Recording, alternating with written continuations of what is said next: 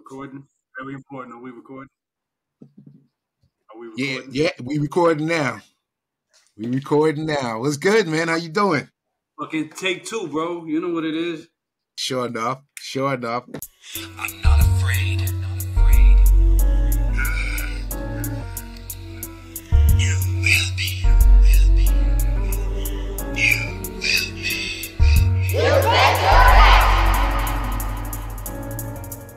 Glad you said that.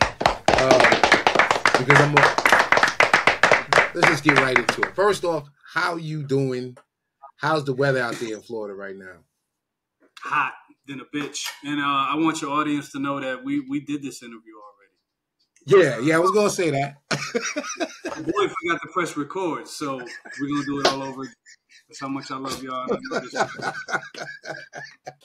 Yeah, so yeah, we did this interview already, and I asked some of the questions I'm going to ask now, but I think I'm going to kind of first off, first off. So I know you from a job we had. We ain't gonna say the jobs; they ain't paying us. Uh, but when I met you, you were you were rapping. You were rapping at the time. Yeah. With the crew yeah. Hood Hippies, am I right? Yeah. yeah okay. Uh, and you also were under the tagline of the Woo affiliate right? Not not at that time. Not at the time you met. I was already a former Bull affiliate at that time. Okay, okay, okay. All right. So uh, yeah, I wanted to make that clear. Uh, as a matter of fact, with you you got music on Spotify at the moment, right?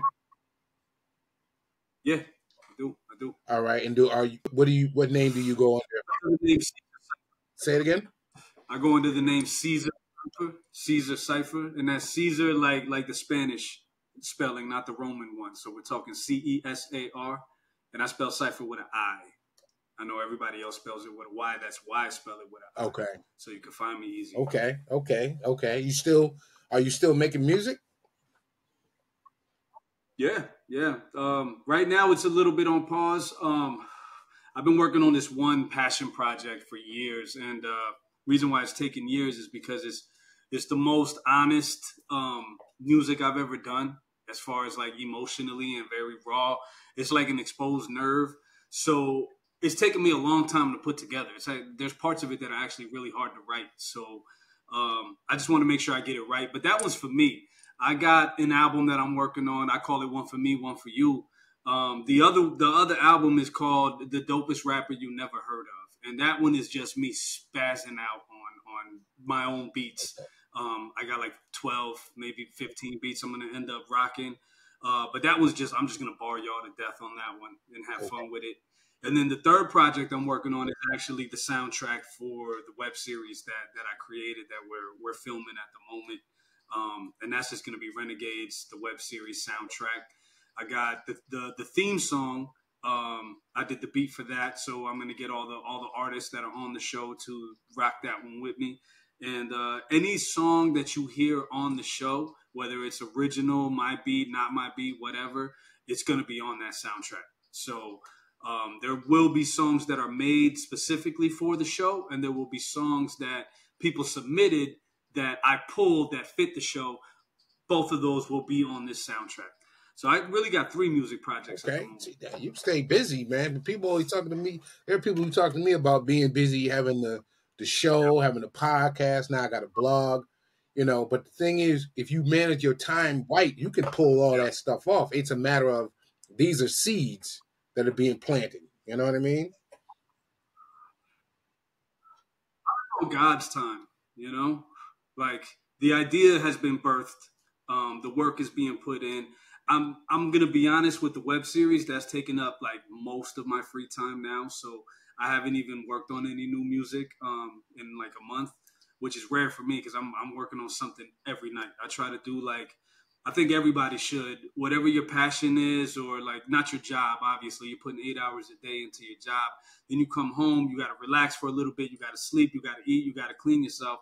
Just make sure you're taking. I like to say two hours, but at the very least, just take one hour to work on your craft, whatever that is, man. If you like to paint, paint for an hour. If you write poetry, write poetry for an hour. If you just like to read and you just want to read up every fucking book on the planet and, and obtain all that knowledge, read for an hour every night because that's gonna um that's gonna get your mind right for the next day of the shit that you don't want to do. for eight hours.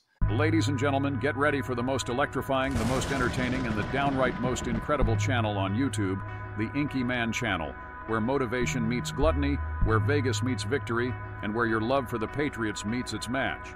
Don't miss out on the fun, the food, and the fanaticism because life is too short not to laugh along with Inky Mann. Subscribe now to the Inky Mann Show channel. Y'all better give us some of this pimping. Happy Friday, you suckers. Now get ready for the Inky Mann show. At least it works for me. So every night I'm working on my music or something. I'm writing something. I'm making a beat. I'm recording. Um, but I haven't done any of that because I've been editing this show uh, day and night. Every time we we film a scene, I get the footage. I go home and I get to work. And then you know this past weekend um, we actually shot. Not this week. Not this weekend. I think yeah, last weekend. Um, we shot like five scenes, and uh, a couple of them were, were were pretty like lengthy scenes. So I just been working on those. So that, I'm glad you brought that up as far as the scenes part. So when it comes to actually filming stuff, um, I don't think that people who are not in the game understand completely what it what it. When you're doing a scene, for the most part, the actors have to memorize their lines and they have to be able to come off in cohesive in a cohesive form for it to be a nice piece of a scene. But what is the average take? For the most part, the average take then like how long does yeah. one With scene you take? saying like uh take one, take two, people messing up. How long does a scene average? Go ahead. There's too many factors. Too many factors to consider because, like, okay, some people remember their lines better than others, and that's okay because a lot of people. I'm one of them. Like, my my lines are in the back of my mind, but when I get there, I like to play with it. So I might add a word or two here and there. Um, so that's going to change things. And for the other actor who's waiting on their cue to be a certain line, you go changing it. Now all of a sudden they got to practice. They got to relearn what they taught themselves and change up the scene on the spot.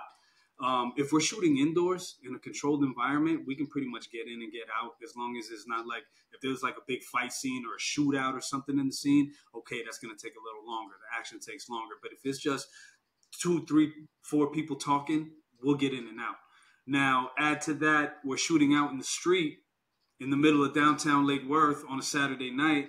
There's so many variables. We were working with two actors that we never worked with before. They just they came in as special guest stars. Um, so we had to get the chemistry right. They hadn't they hadn't done any of the table reads that we did as as a team, um, only because I wanted to keep it separate. I wanted them to come and be raw and not know. I needed the scene to be a little awkward, so I, I, I actually directed it that way, and it ended up working out. But it took a lot longer than we planned.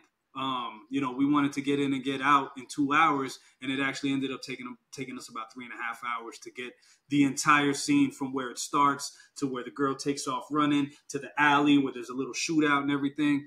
Um, by by by the end of that, we were happy happy with what we got. But usually, the way it goes is okay. I got my actors, whether they know their lines or not, really doesn't make a difference because when I edit it, I'm pulling the pieces that I need anyway. So they could they could be saying a line and they'll say the line wrong and we're still rolling and I'll literally be like pause, say it again. And they'll say the line again and I could use that take even though there was nothing around it that goes with it. I can edit it and, and do some editing magic, movie magic, all that. Um, but the important thing is the angles and the important thing is the actors being in the same places and for the most part saying the lines the same way. If you know you you scratched your head when you said this line, I need you to scratch your head on that line in every angle, every take, because that's going to make it easier for me to cut together. Now, being that we're not trained actors, you know, we're just we're basically a bunch of hip hop artists and people that like TV and music and entertainment, and and we feel like we have a little bit of a knack for it, and we can do it too. So we're throwing our hat in the ring. We're not perfect, so I'm finding when I go to edit, I have to look for those key moments where they actually did the same thing twice because they're also trying things. You know what I mean? We're trying to see what works and and what what looks good, what doesn't look good. Oh wait, I didn't like when your hand was there. You covered his face, so don't do that no more. But now we have a take with it and a take without it. So which one ends up, going is the one that fits with the other takes. that's how it's going down right now. But that's what happens when you have no budget. I'm out, yo. Yo.